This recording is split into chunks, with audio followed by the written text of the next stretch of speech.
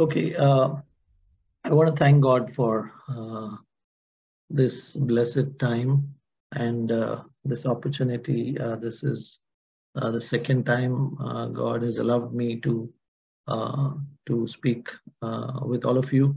It's it's nice to see so many of you young people who are seeking for a godly life in this day and age, especially when Uh, more and more people are uh, becoming more and more godless. Uh, so uh, the the the subject, uh, as you know, is preparing for the Lord's return, and the song that was chosen by brother was very appropriate, and this is more or less what I would I would be sharing today.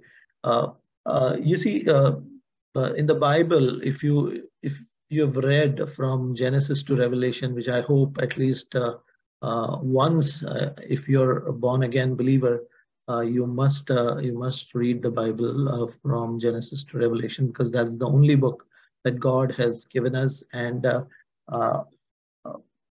we, we we find that there's a lot of lot of ink space given to Uh, given to this subject, uh, especially in the New Testament.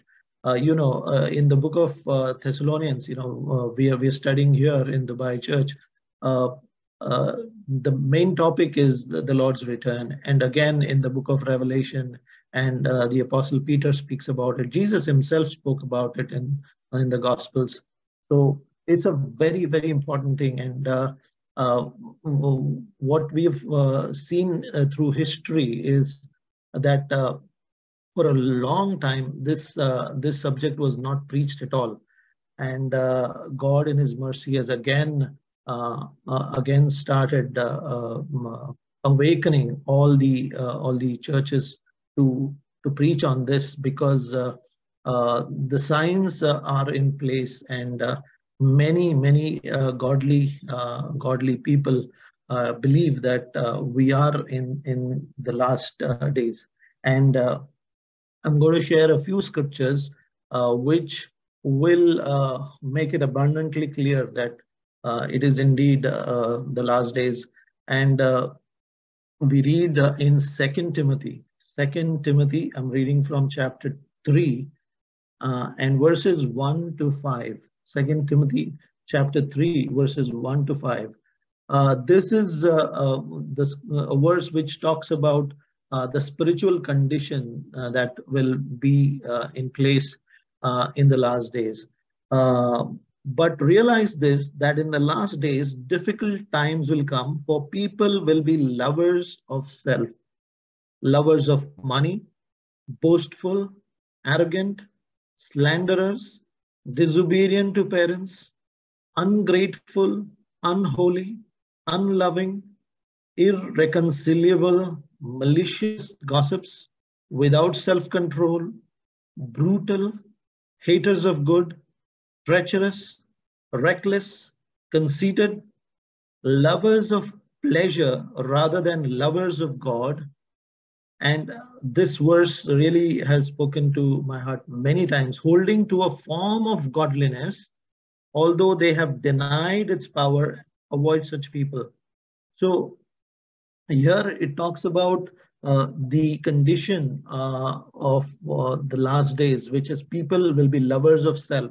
And, you know, selfishness has always been there in mankind. We read that right from uh, the book of Genesis. But now it has gone to the next level. You know uh, this selfie culture uh, this selfie culture has uh, taken uh, has gone to such an extent where people are just lovers of themselves. They're taking so many pictures of themselves and posting on facebook and uh, you know instagram. And it's all about uh, you know showing yourself off to the world and uh, it is uh, it, it is incredible that the devil has managed to uh, to fool so many people into uh, into just uh, being absorbed by by being focused only on themselves and we must be careful, especially you young people.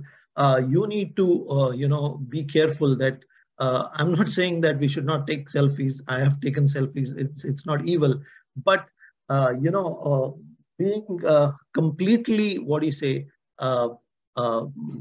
addicted to it, and you know, addicted to social media and all those things, that will definitely affect your Christian life. Uh, and uh, what this culture is basically promoting is uh, ourselves. Instead of us being focused on God, uh, the focus is on ourselves. And that is something that uh, we see that hap happening rampantly uh, in today's times. and if you look at, there are many prophecies which point to the return. And the other most important prophecy, you know, which uh, which is about the nation of Israel. Uh, uh, I, I just want to share a couple of verses. There are tons of verses which talk about uh, the nation of Israel. If you uh, if you look at Ezekiel, Ezekiel chapter 36 and verse 24, Ezekiel chapter 36 and verse 24, uh, you see God is telling through the uh, prophet Ezekiel that I will take you from the nations and gather you from all the lands, and I will bring you into your own land.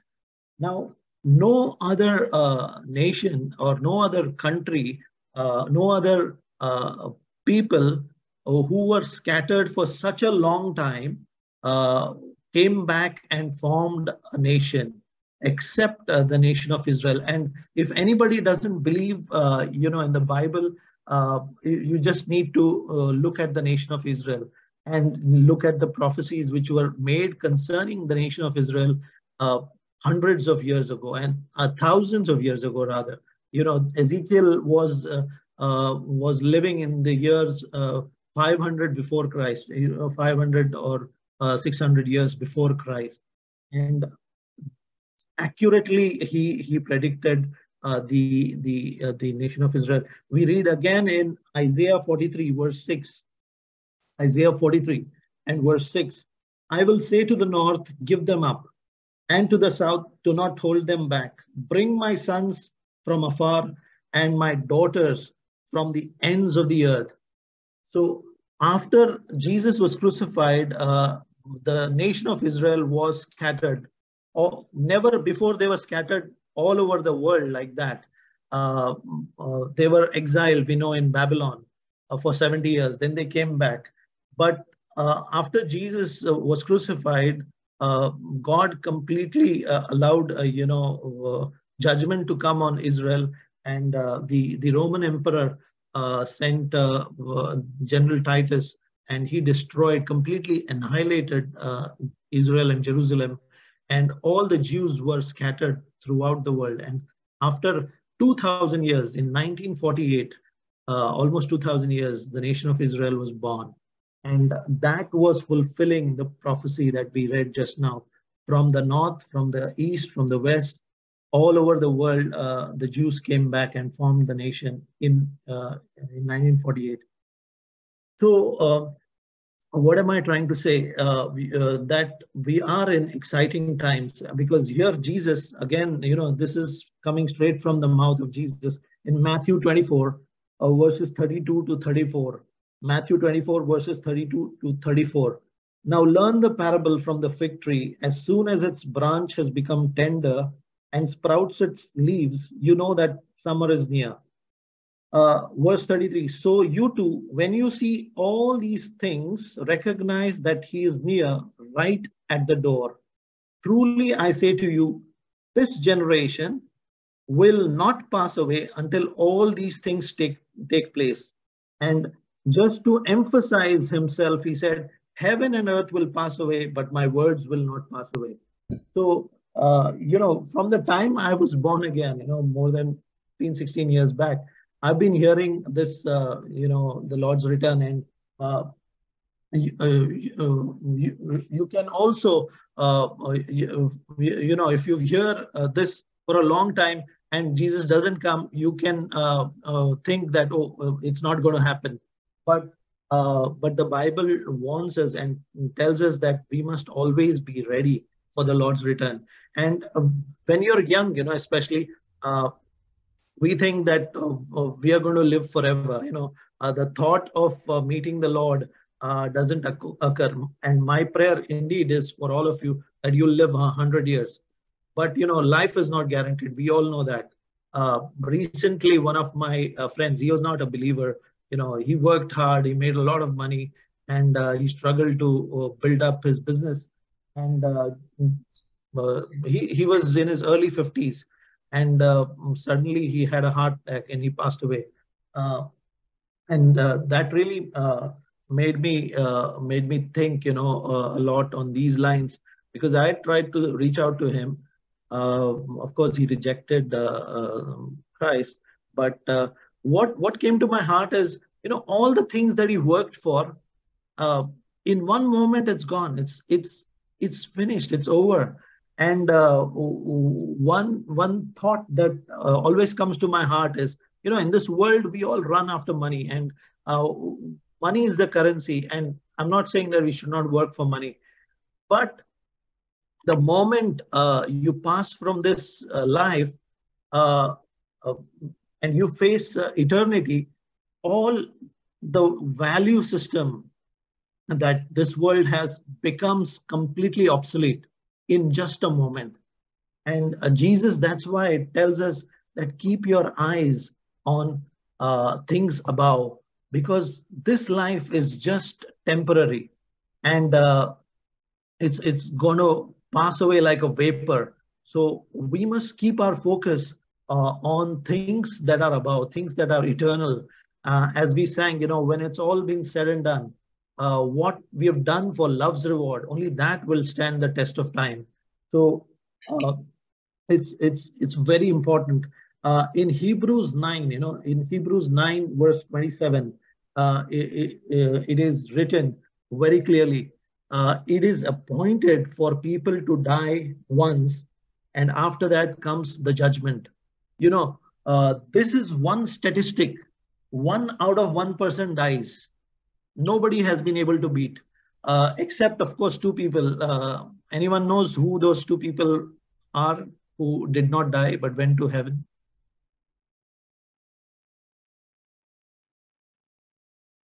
Anyone? No one?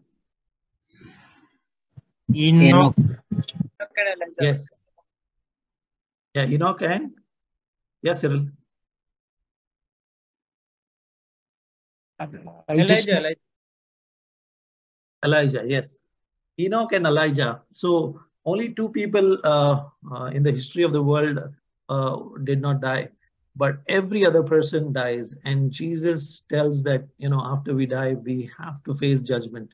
And uh, again, I, I do not want to scare you or anything, you know, uh, one of the things that I have uh, uh, I have noticed is whenever we talk about the Lord's coming and you know judgment and all that, there is a fear or something. We should not have these kind of thoughts.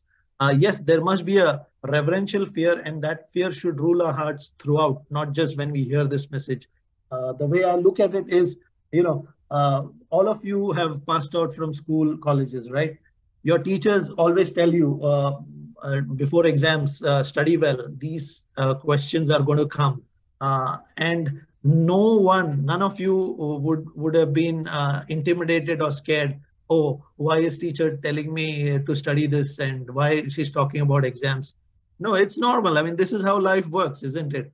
So this is also normal. This is how life works. And uh, for many people, I mean, who don't believe, uh, for them, uh, I mean, they don't care. But for us who believe and who say that, okay, Jesus is the Christ and he is uh, going to uh, be our judge and uh, he is going to reward us. Uh, we have put our trust in him. For us, uh, we must live according to our faith. And th this is going to happen with all of us uh, great and small, young or big, everyone is going to stand before the judgment of uh, seat of Christ. So, uh, what shall we do? Uh, in Revelation, in Revelation, we uh, we see this wonderful, uh, wonderful uh, scripture, uh, Revelation chapter 17, uh, verses 7 and 8. Uh, Revelation chapter 17, verses 7 and 8. Let's rejoice and be glad and give glory to him because the marriage of the Lamb has come and his bride has prepared herself. It was given to her to clothe herself in fine linen, uh, bright and clean, for the fine linen is the righteous acts of the saints. Now, this is very uh, interesting uh, the way uh, the Bible describes this, you know, in the book of Revelation, uh, the marriage of the Lamb. Okay, now this is the final uh, uh, celebration that is going to happen. And we know the bride is the church. Okay, you and I, we are going to be part of the bride. And uh, here it says, it was given to her to clothe herself in fine linen, bright and clean. And it explains what the fine linen is. The cloth that you and I are going to wear on that final day uh, is uh, the righteous acts of the saints. That means what we have done in our life after we were born again, uh, those uh, those righteous acts will determine the uh, beauty of our garment. Now we all know how brides prepare themselves when before they want to get married, isn't it? I mean, the preparation starts a year before, especially in India, uh, which uh, uh, uh, which hall we are going to book and what catering and you know what will be the bridal dress and you know who's going to stitch and there, there's so much of preparation goes on, right? So uh, the Bible compares that with how we should prepare ourselves. That means uh, our works, whatever we do, the righteous acts, they will determine the uh, the beauty of the garment that we are going to wear in heaven when we and that's going to be forever and ever okay so what we do here and now in this life will determine how we are going to spend eternity so uh, all of us know uh, eternity, uh, infinity to 70 or 80 or 100 uh, is nothing. I mean, when you compare 80 to 100, uh, 80 or even 100 years to infinity, it's almost like zero. That's why the Bible says that our life is like a vapor. So we have one shot at life, you know, and uh, what we must do is do our best, as we sang in the song. Did I do my best? Uh, God is going to help us. Uh, all these things that we hear, it, it should not intimidate us. It should not scare us, but rather uh, we should we should be excited and say, hey, this is the only chance that I'm going to uh, have to love the Lord, uh, to repay for all that He has done. And we are not alone. God is promised to give us his power, the Holy Spirit, to help us to live a godly life. And, you know, uh, uh, uh, Jesus uh, has uh, spoken about the end times in Matthew 24 and also in Luke 21. Now, in Luke 21, there's an interesting, uh, interesting addition which you don't find in Matthew chapter 24. And I just want to read that. Luke chapter 21, verses 34 to 36. Uh, this is Jesus talking to his disciples about the end times. And he says uh, in verse 34, but be on your guard so that your hearts will not be weighed down with dissipation and drunkenness and the worries of life, and that this day will not come on you suddenly like a trap. Verse 35 For it will come upon all those who live on the face of all the earth, but stay alert at all times. Now, this is key stay alert at all times, praying that you will have strength to escape all these things that are going to take place and to stand before the Son of Man. So, Jesus is telling that be on your guard. Why? Because your hearts will not be weighed down with dissipation and drunkenness. Uh, now, uh, he's not talking about physical drunkenness, okay? He's talking about being drunk with the world. That means we are so much enamored or uh, attracted to the things that this world has to offer uh, with all its uh, uh, beauty and glamour that we get drunk with it and Christianity or coming to church and that takes a backseat. That means people will still come to church, but their whole focus will be uh, on how to become rich. And when you're young, especially, you know, that that's a great temptation that what am I going to do? What career to choose? Which uh, a job to take? Is this going to help me to get married and settled? And those are all legitimate worries. Uh, I mean, we, we all need to do that.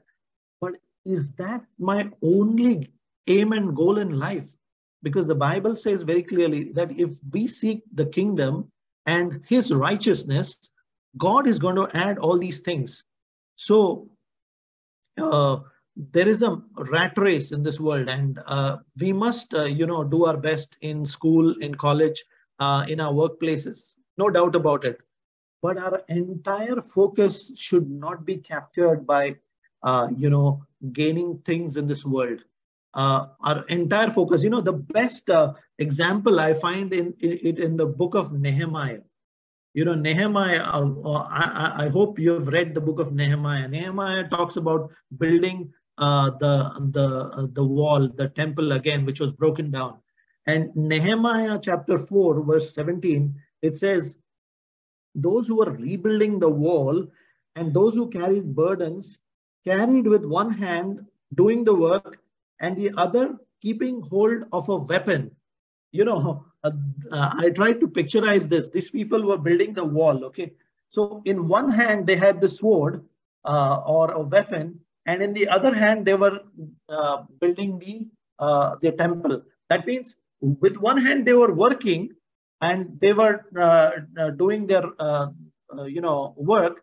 But in the other hand, there was this weapon. That means Jesus is telling, you know, we don't have to use a physical weapon, but to be on spiritual guard that means that we must be always praying uh, to the Lord uh, while we are at work. While that that doesn't mean that all the time we hold the Bible and pray, but our focus should be that I need to honor and uh, you know uh, uh, uh make sure that I live according to God's principles. And what is the weapon in for us as Christians anyone knows what is the only weapon that uh, the Bible has given us, uh, Jesus has given us?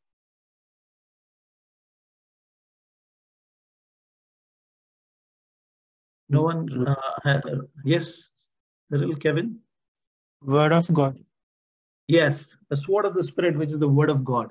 So it is very important for us to, uh, to know the word of God and uh, use it in, during difficult situations uh, even in our uh, happy situations at all times, so that we will not be taken by surprise. Now, immediately after uh, after uh, uh, Jesus talks about the end times uh, in the book of Matthew, he talks about uh, uh, you know two parables.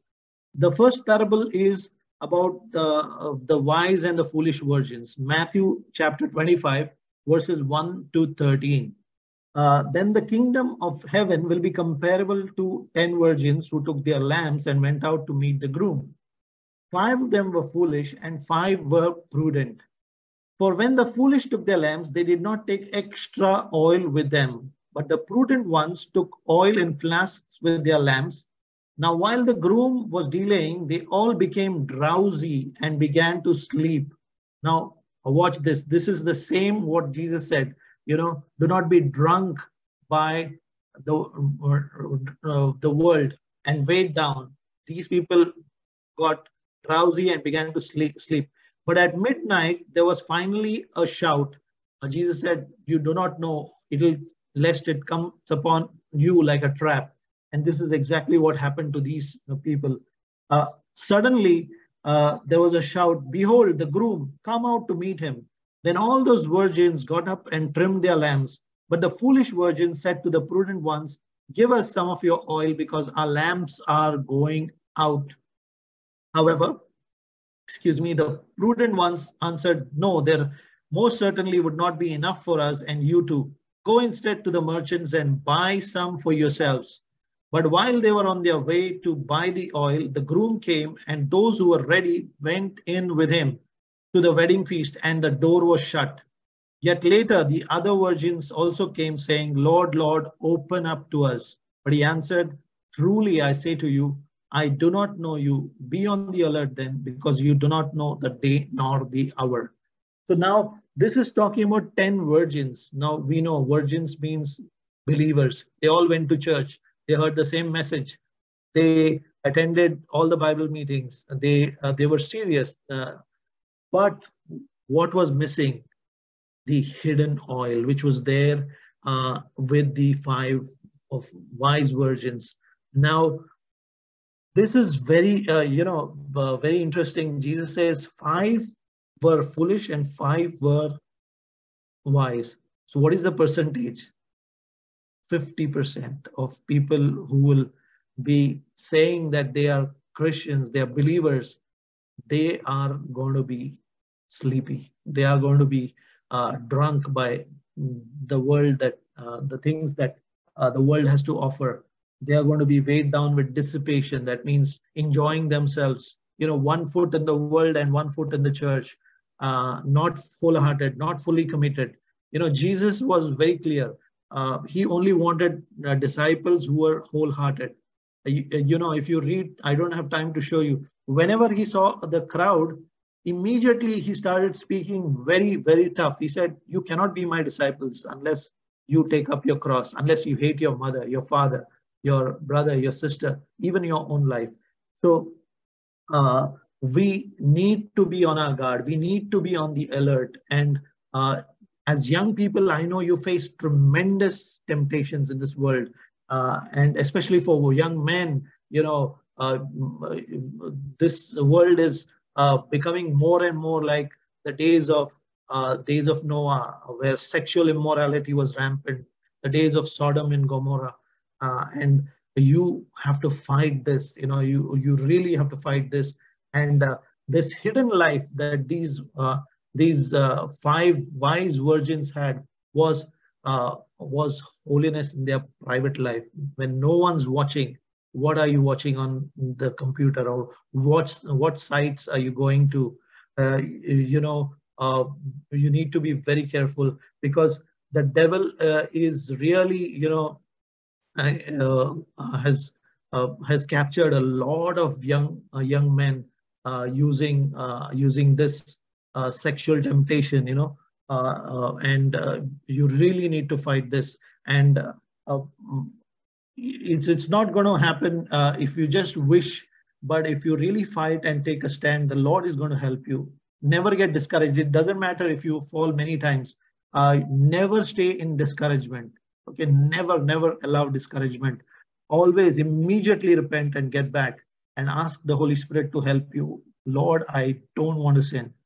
Uh, you know, I uh, I need the power of your Holy Spirit, and it doesn't matter if you fall many times. Uh, very soon you'll realize that you have overcome it. You know, and it's a wonderful thing before you get married if you have victory over this area in your life. And for uh, for uh, sisters, I want to encourage you uh, that don't dress immodestly. Modestly, uh, you know, don't tempt uh, uh, the young young uh, men or uh, young boys. Uh, dress modestly and you know live a holy life, live a godly life, and you will have a great reward. So here, these people in their secret life they took took up the cross. It, so in your secret life, what you do in your home, how you talk to your parents, how uh, are you uh, disrespectful to your uh, parents? do you think that now that you start started earning, you can call the shots and you can be disobedient? As long as you stay with your parents, you need to respect them. You need to obey them because the Bible is very clear. If you uh, dishonor or uh, you know speak rudely, uh, it it'll not go well with you, and you will not live long on this earth. Uh, that is the only promise, that is the only commandment in the Old Testament which came with a promise and which is emphasized in the new covenant. So uh, I know I was also a young uh, person like you, and when we are especially uh, grown up and we think we know better than our parents, uh, it, it is very easy to get irritated with them. Or you may fall. I mean, you may slip up, but as soon as the Holy Spirit convicts you, please apologize. Please humble yourself, and this will protect you, and this will help you to keep that oil with you because you know uh, when Jesus comes, you cannot at the last minute go collecting oil. Uh, it, it, it, has to uh, um, happen on a daily basis. And that is why Jesus said that you need to take up your cross daily. Okay. Uh, so this is very important. And the other uh, parable, uh, I don't know how much time I have, brother. I, I didn't see when I started. Another five minutes? okay. Uh, Go ahead, brother. Yeah. So uh, in the next parable, you see about uh, when the Son of Man, uh, Matthew chapter 25, 31 to 46. I'm not going to read the full passage for time. Uh, here it talks about, you know, verse 34. Then the king will say to those on his right, Come, you who are blessed of my Father, inherit the kingdom prepared for you from the foundation of the world. For I was hungry and you gave me something to eat. I was thirsty and you gave me something to drink. I was a stranger and you invited me in. Naked and you clothed me. I was sick and you visited me. I was in prison and you came to me. Then the righteous will answer him, Lord, when did we see you hungry and feed you, or thirsty and give you something to drink? And when did you we see you as a stranger and invite you in, or naked and clothe you? And when did you we see you sick or in prison and come to you? And the king will answer to them, Truly I say to you, to the extent that you did it for one of the least of these brothers or sisters of mine, you did it for me. And the opposite, you know, uh, uh, he talks about, Depart from me, you accursed people, into eternal fire, which has been prepared for the devil and his angels. For I was hungry, and they, they did the opposite. So what is this talking about? This is talking about our righteous acts. That means uh, we are supposed to uh, live a life of sacrifice, of giving, you know. And uh, uh Jesus said, you know, which Paul quotes, it is more blessed to give than to receive. You know, as children of Adam, we come with a clenched fist. We come with this give me, give me, give me, give me mentality and when we come to church also we uh, have the same mentality okay we uh, we say the right words have the right doctrine but when we come to church give me job give me money give me husband give me wife give me home give me this give me that give me it's all about me uh, whereas uh, when we come to the lord he has already given us so much uh, and uh, do you think he you know in, in the book of romans i think it is written if he did not spare his one and only son, how much more he will give you all things. Uh, we have a father in heaven. We don't have a, a corporate boss that you do this, you perform this, then I will pay you. No, we have a father. We must always remember that. We have a father in heaven who loves us and who will not withhold anything good from his children. If you are honest, if you are sincere, you may be failing a hundred times, but as long as you're honest and you're sincere, God is never going to leave you, never going to forsake you, will make sure that you will always have a job. You may not be a millionaire, but you will have enough to feed yourself and when you get married, uh, your family. Uh, you know, David says that I've been young and I've now I'm old, but I've never seen a righteous man begging for food or even his children begging for food. So, uh, you know, in today's time with all this AI, chat, GPT, and, you know, careers, this, that, robotics, uh, the world is under a lot of stress and pressure. But you need to reject that. You always need to tell yourself that God is my father. Doesn't mean that you'll be lazy and do nothing. You'll do your best, but you will not allow these things to weigh you down and capture uh, uh, your mind so that you don't have time to serve the Lord. And here he says that Whatsoever you did to the least of these, my brothers and sisters, you did it for me. And this is how, uh, this is talking about how we can uh, put others first. And you know, the wonderful thing about these people is uh, that they don't remember what good they did. You know, this is something that we need to practice that whatever good we do, we try and, you know, forget it because by nature, we have this habit of recording carefully every single good thing that we have done and uh, forgetting all the good that we have received. We have to reverse it. And uh, it doesn't happen uh, immediately. It needs time. So you, we all need to grow in this. Whatever you've heard, don't think, uh, you know, take it as a burden or any kind of that, oh, you know, I'm, I'm, I'm so far or this, but be zealous and the Lord will definitely help you because here uh, it, it, says in Ephesians, you know, uh, uh, Ephesians chapter 2, verses 8 to 10, for by grace you have been saved through faith, and this not of yourselves. It is the gift of God, not a result of works, so that no one may boast. For we are his workmanship, created in Christ Jesus for good works, which God prepared beforehand so that we would walk in them. So we are not saved because we are good we are saved only because of Jesus and his sacrifice. We need to be absolutely clear about it. And because we are saved, we do good works. When we come to church, we come with the attitude, how can I bless others? Not give me, give me, how can others bless me? But what I can do to help my brother or sister. And before that, at home, you know, how you can be a help at home, how you can uh, be a blessing to your parents, to your siblings. And uh, that's how you collect the oil, which uh, which will make sure that when the Lord comes, you will not be like those foolish virgins, that you will be ready for his return and you will have absolutely no regret. I don't want to have any regret in eternity. Uh, so may God help all of you, all of us, that we'll all be ready. And, you know, on the day of judgment, we'll not have anything to fear. Uh, may God bless you all.